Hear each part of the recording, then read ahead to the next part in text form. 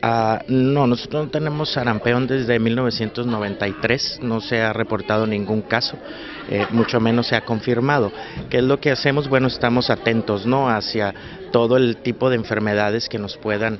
Eh, pues orillar a dar un diagnóstico de este tipo. Ahorita no tenemos ningún caso, tenemos una cobertura del 100% en vacunación, eh, estamos prevenidos en lo que es la triple viral, que es sarampión, rubella y parotiditis.